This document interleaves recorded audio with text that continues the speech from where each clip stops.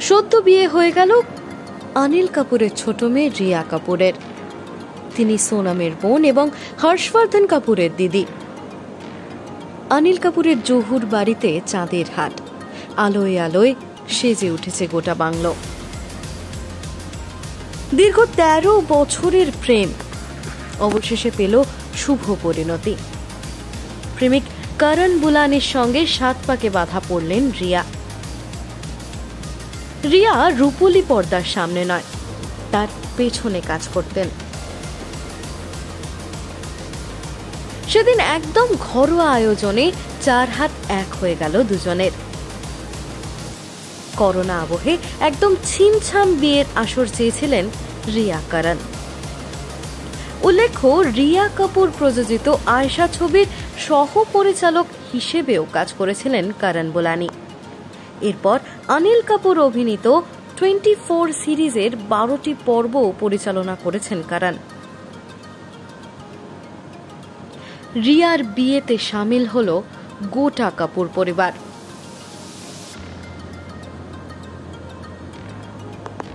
সোনাম এবং আনন্দকে তো দেখাই গেল। তার সাথে দেখা গেল অর্জুন কাপুর অংশুলা কাপুর, খুশি কাপুর। বাবার সাথে পৌঁছলেন জাহ্নবী কাপুরও। রিয়ার বিয়েতে কাপুর কন্যাদের সকলেরই দেখা মিলল একদম সাবেকি সাজে। আকাশে রঙা আনারকালি স্যুটে সেজেছিলেন ফ্যাশনিস্তা সোনাম। লাল রঙের লেঙ্গা চলি পরেছিলেন অংশুলা সনায়া কাপুর এবং খুশি কাপুর এদিন তাদের দেখা মিলল হলুদ রঙের লেহেঙ্গায়। ট্রেডিশনাল লুকে দেখা গেল শ্রীদেবীর কন্যা জাহ্নবীকেও। মনে পড়ে গেল অভিনেত্রীর কথা।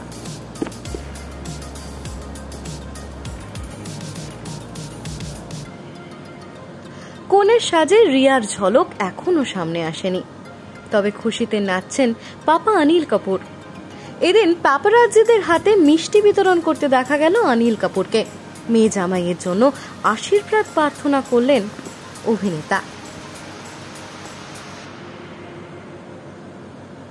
নব দম্পতিকে আমাদের তরফ থেকে অনেক অনেক শুভেচ্ছা